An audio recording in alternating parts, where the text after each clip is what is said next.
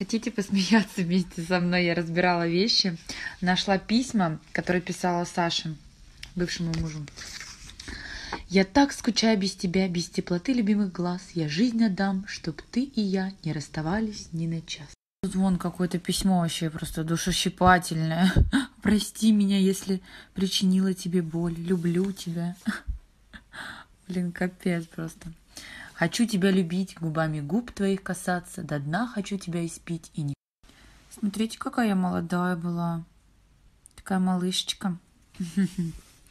И вот, такая жизнерадостная, веселая, молодая-молодая. Сейчас какие мои годы.